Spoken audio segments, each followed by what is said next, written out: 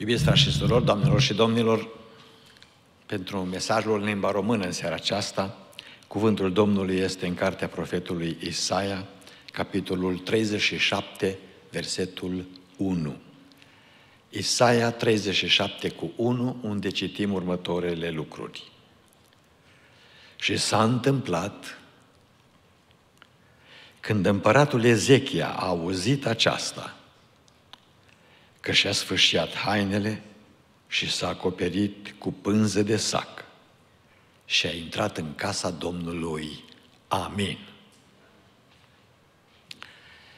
Istoria textului nostru face parte din acel timp vechi, antic, când în regatul lui Iuda era împărat Ezechia. Împotriva lor, a regatului lui Iuda, a venit împăratul Asiriei, mai degrabă întâi și-a trimis, dați-mi voie să folosesc o expresie uh, românească, întâi și-a trimis cățeii, uh, ministrul propagandei, pe Rapșache, ca pe vremea lui Hitler mai târziu, care a ținut un discurs în fața zidurilor Ierusalimului ca să fie auzit de toți despre isprăvile nemai auzite ale împăratului Asiriei, despre puterile lui nespus de mari și despre faptul cum a supus nu numai popoarele pe care le-a asaltat și apoi le-a supus la biruri, ci a supus și pe Dumnezei acestor popoare. Împăratul Asiriei, prin Rapșache, a făcut o greșeală mare că l-a considerat pe Domnul Dumnezeul lui Israel unul din acești Dumnezei, mulți, care erau în Orientul Mijlociu și care, bună oară, uh, apărau regatele în care ei erau adorați. Dar Dumnezeul nostru nu are asemănare, nu poate să fie comparat cu nimeni, El este Creatorul Universului, El este Creatorul nostru și El este singurul Domn. Este Domnul Domnilor și Împăratul Împăraților, glorie Lui. Însă, atacul asirian și asediul asirian care a durat bucată de vreme împotriva Ierusalimului în particular, a trebuit să fie luat în seamă. N-a fost un lucru de nimic, un lucru de apucat. Imperiul Asirian a fost în istorie, dacă citiți, unul dintre cele mai sălbatice imperii. Ați auzit bine, sălbatice. Comportamentul lor era un comportament sălbatic. Nu era un comportament omenesc. Dacă reușeau să cucerească teritoriul care era asaltat și de la care pretindeau tribut anual, se comportau cu oamenii ca niște animale. Pentru că zeii lor îi învățau să fie oameni de felul acesta. Așa cum este astăzi extremismul musulman. Și nu place la nimeni să audă să se spună așa ceva, mai ales în biserici și în lumea politică. Textul nostru ne spune că amenințările împăratului Asiriei prin Rapșache, acest general și ministru al propagandei, uh, au fost aduse la cunoștința împăratului Ezechia. Împăratul s-a tulburat. Cei ce au auzit cuvintele acestui om și a însoțitorilor lui uh, au pus la inimă și la minte lucrurile pe care le-a spus acest uh, general Rapșache, pentru că în mare parte vorbeau un adevăr. Popoarele au fost subjugate. Dar sigur că nu puteai să compari din discursul lui pe zeii popoarelor cu Dumnezeul lui Israel. Ca să ia în considerare Ezechia amenințarea pe care a făcut-o acesta când a zis și crede Ezechia că vă poate amăgi spunând că Dumnezeul nostru ne va scăpa din mâinile tale? Care a fost acel Dumnezeu care a scăpat celelalte popoare din mâina împăratului Asiriei? Și Ezechia a fost un om temător de Domnul, un om cu frica lui Dumnezeu. Printre împărații lui Iuda, Ezechia se ridică în lista primilor dintre ei uh, care au excelat în credință, în apropiere de Domnul, în slujire după voia lui Dumnezeu și în ascultare de Domnul. A fost un împărat care a adus reforme în Iuda, în ce privește închinarea de la templu, și Biblia ne spune că imediat după ce a luat împărăția, avea 25 de ani, el, printre primele măsuri pe care le-a luat, a fost acelea de a rezidi casa Domnului în sensul de a repara, pentru că era în paragină de la tatăl său, și de a pune în ordine din nou sistemul preoțesc și levitic pe care l-a instituit cu atâta grijă și minuțiozitate împăratul David. Aceasta este particularitatea în care se întâmplă ceea ce uh, pre- versetul nostru ne prezintă. Uitându-ne, deci, la aceste lucruri, în seara aceasta aș vrea să stau în fața dumneavoastră cu un mesaj pe care l-am intitulat Dacă vrei să fii efectiv. Dacă vrei să fii efectiv. Vrei să faci ceva. Vrei să ajuți. Vrei să fii o binecuvântare. Vrei să fii o mângâiere. Vrei să fii un ajutor de seamă într-o situație oarecare. Dorești un lucru bun. Dumnezeu se bucură de decizia ta sau a mea. Însă, cum putem să fim efectivi? Cum putem să fim oamenii pe care să-i poată folosi Dumnezeu în crizele cele mai mari, cum l-a folosit pe Ezechia în această criză de asediu îndelungat împotriva Ierusalimului din partea Asiriei. Domnul a luat notă de intervenția lui Ezechia, știți foarte bine, a trimis un înger și a zis, du-te și rezolvă treaba aceasta, dar repede, așa, într-o noapte. 185 de mii de morți într-o noapte. 185 de mii. Când s-au trezit dimineața și au văzut ce s-a întâmplat în tabără, au înțeles că e mâna Domnului pe care l-au amenințat, că nu-i mai puternic decât în ă, Dumnezeii celorlalte popoare și s-au întors ca niște câini plouați înapoi în regatul Asiriei. Dacă vrei să fii efectiv, versetul pe care l-am citit în seara aceasta, versetul 1 din Isaia 37, ne spune trei lucruri. Primul lucru, ca să putem să fim efectivi, să putem să ajutăm, să putem să se folosească Dumnezeu de noi, să putem să fim o binecuvântare. Frați și surori, primul lucru de care avem nevoie după acest pasaj biblic este acesta. Informează-te. Informează-te.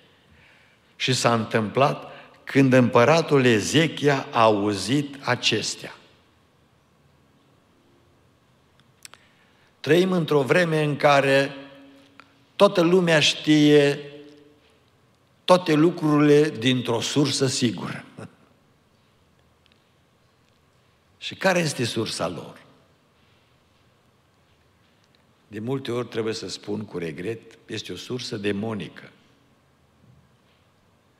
Sunt oameni care, ca pe vremea lui Ieremia, astăzi este mai ușor, mai la modă, pentru că dispunem de internet, de comunicații instantanee în toată lumea, la clipeala ochiului. Auziți despre Ieremia, contemporanei lui preoții, că Ieremia era și preot, era din casă preoțească, din familie de preoți și era și profet. Și colegii lui, preoții și profeții, au zis, haidem să-l omorâm pe Ieremia. Dar până la urmă s-au răzgândit și au zis, chiar așa, vorba părintelui Trifa, fondatorul oastei Domnului.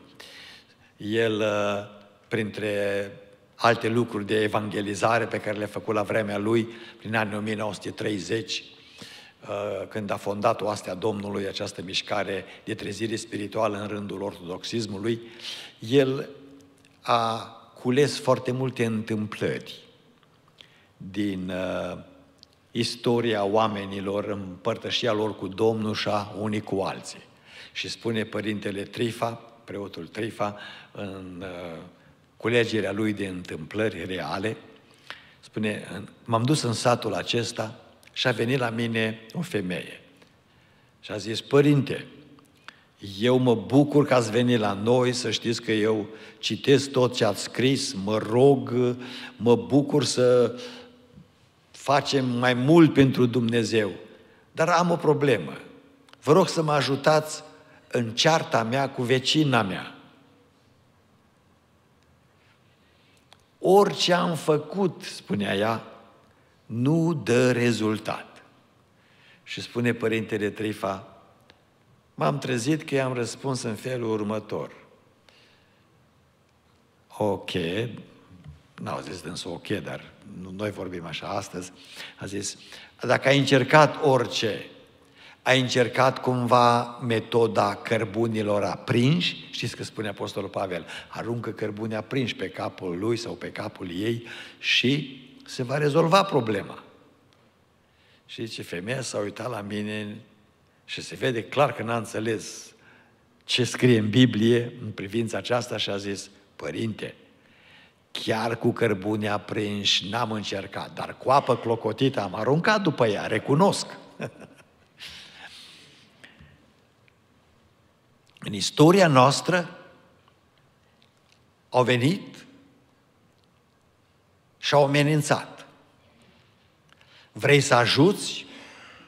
Te informezi. Care e sursa ta sigură? Dacă vrei să te rogi pentru cineva, nu uitați, frate și surori, doamnelor și domnilor, eu și cu tine care stai în fața Evangheliei, noi nu suntem Dumnezeu să știm toate lucrurile. Și nici nu putem dormi pe gândul acesta, o să-mi descopere Duhul Sfânt, o să-mi reveleze Duhul Sfânt ce probleme are și atunci o să mă rog pentru el. Dacă vrei să ajuți pe cineva, să te rogi pentru cineva, pentru necazul cuiva, interesează-te, informează-te ce probleme are, să știi ce prezinți înaintea lui Dumnezeu. Poate că trebuie să te duci la magazin întâi, să cumperi un porbagaj de cumpărături, că oamenii ăștia n-au mâncat de trei zile și sunt acolo în casă 5, 6, 7 persoane. Informează-te în primul rând, dacă vrei să ajuți. Ezechia s-a informat despre ce s-a întâmplat la zidurile Ierusalimului. Vrei să ajuți pe cineva, ajută în nevoia pe care o are, nu face altfel de ajutor. Dar dacă vrei să ajuți în nevoia pe care o are, te informezi. Te informezi corect și nu mai merge pe istoria aceasta, eu știu din sursă sigură, am citit pe internet. Pentru că pe vremea lui Ieremia, ca să-mi continui ideea pe care au început să mai înainte, pe vremea lui Ieremia au zis, nu o să-l omorâm, dar haideți să-l omorâm cu vorba. Hai să-l omorâm cu vorba. Scriem niște articole pe internet despre el, despre ea, despre casa lui, despre casa lor, de nu-i mai caută nimeni, nu-i mai bagă nimeni în seamă. Și degeaba vei merge și vei zice, eu din sursă sigură știu că fratele, sora, familia a făcut cu tare lucru, a trecut prin cu tare lucru, pentru că sursa ta sigură este o sursă mincinoasă. Informează-te corect, nu numai dintr-o sursă, și compară sursele. Pune-le cap în cap, verifică-le. Și cel mai bun lucru sună la persoana pe care vrei să o ajuți, acolo unde vrei să te implici, sună și întreabă. Am auzit și vreau să ajut, vreau să mă implic. Asta este realitatea sau este alta? Împăratul Ezechia s-a informat. În al doilea rând, al doilea lucru ca să poți să fii util, nu numai că te informezi, te implici. Și-a sfârșit hainele și s-a acoperit de pânză de sac. A zis, am să postesc, asta este implicarea în cazul de față, pentru situația Ierusalimului. Am să mă jerfesc pentru situația poporului meu. Dar implicarea poate să fie de multe feluri. Dacă are nevoie de mâncare, degeaba te rogi. Iartă-mă, dragul meu, dar nu îi ajută, că nu se satură. Dule de mâncare. Dacă vrei să te implici în ajutorul copiilor, ia soțul de mână și spune, dragul meu, uite, facem astăzi un sacrificiu. În familia aceasta sunt șapte copii, oamenii aceștia sunt sufocați, n-au mai venit la biserică de trei săptămâni, pentru că lis copiii bolnavi și au tot felul de probleme, n-au mai ieșit afară, mergem să le dăm o zi liberă. Măcar să meargă la biserică, să se bucure de părtășie, să se roage. Dar implică-te practic. După ce te-ai informat bine, te implici practic. Postește, rogă-te. Împăratul Ezechia a făcut tocmai acest lucru. Și apoi, în al treilea rând și în ultimul rând, frați și surori, doamnelor și domnilor, ca să fim utili, pe lângă informare corectă, pe lângă implicare practică, ne trebuiește închinare. Și a intrat în casa Domnului. De ce a intrat Ezechia în casa Domnului? Așa numai ca să arate formalism? Nu! S-a dus acolo în casa Domnului chiar cu o scrisoare din partea împăratului Asiriei pe care a adus-o, Rapșache acest ministru al propagandei. L-a chemat și pe Isaia, pe profetul Isaia și a zis, vino și tu cu noi. Suntem o biserică penticostală și nu-i rău să întrebi pe Domnul. Din potrivă, este bine să te zmerești și să întrebi pe Domnul, Doamne, Tu poți să vorbești în vremea aceasta. Trimite un mesaj, trimite un cuvânt. Au luat scrisoarea și au prezentat-o înaintea Domnului și au spus, uită-te la amenințările lor, Doamne. Și până atunci eu îți dau laudă, îți dau cinste, îți dau glorie. De aceea va zice David în Psalmul 18, eu strig, lăudat să fie Domnul și sunt izbăvit de vrăjmașii mei. Pentru că închinarea în vreme de criză îl nimicește pe cel rău. El nu-și poate imagina că atunci când te-a lovit, când m-am lovit și sunt în culmea neputinței sau a crizei, Mă voi duce să mă închin lui Dumnezeu și spun, Doamne, îți mulțumesc că ești cu mine și nu sunt singur. Nu poate pricepe lucrul acesta și e bine că nu-l pricepe, pentru că dacă tu-l pricepi și te închin Domnului în vreme de criză, rezultatul nu poate să fie decât biruință. Domnul ia problema ta în mâna lui și nimicește pe cel rău. Glorie Domnului! Dacă vrei să fii util, informează-te, implică-te și închină-te Domnului și Domnul va lucra împreună cu tine. Amin.